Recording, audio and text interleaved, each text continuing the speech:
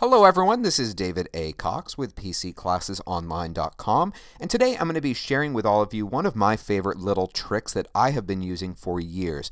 Now if you or someone you know is in the type of job where you're dealing with customer service or just the type of job where you get a lot of emails every single day that require the same types of responses.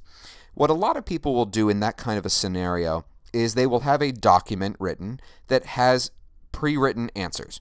And so when they get an email in, they'll find the appropriate response, copy it, and paste it as a response to that email. And while that is certainly faster than having to write a custom response every single time, there is a faster way, and that is to use trigger words.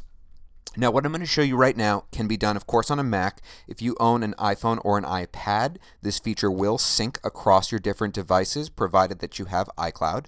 And um, if you happen to have a Windows PC, you can do this. However, you will need some third-party software to accomplish that. There will be links in the description of the video for how to do that.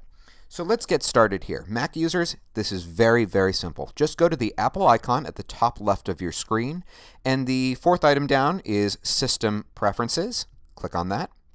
Now, on the second row, third item in, we're going to go into Keyboard Preferences.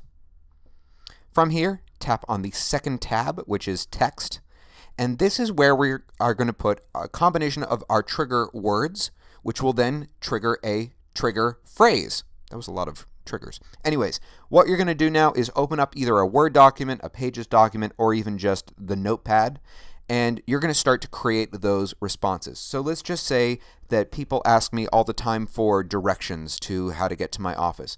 So we'll say take Main Street five miles north and blah, blah, blah. You don't need to hear that. So what you're going to do is first figure out what are going to be the key letters you're going to type in that are going to initiate this response. You want them to be the kinds of letters that you're not going to accidentally type because otherwise it's just going to be a big pain in the butt. So let's say for this one, um, let's make it DIR home, D-I-R-H-O-M-E, okay? And so now what we're going to do is we're going to copy this response. And what's great is this can be one sentence, it could be a paragraph, it can be an entire page. It doesn't matter. Copy it, and now we're going to paste it over here under with. All right. Now that that's done, you don't have to save, just click outside the box. Now when I go into an email here, and let's say I create a new message. This is my dummy email account. Don't bother writing any letters to it. When I type in D-I-R-H-O-M-E and hit the space key, it all comes up. And like I said, if you happen to have an iPhone or an iPad, that also will be true. This is David A. Cox with PCClassesOnline.com. I hope you enjoyed this. Like I said, if you have any friends who are in customer service, this is a major time saver. Uh, if you haven't already done so, check out our website. We are a completely free service. We have members currently in over 160 countries. If you happen to be watching this video on YouTube, we really do appreciate it if you click that little like button. Thank you so much, everyone. Have a great day. Bye-bye.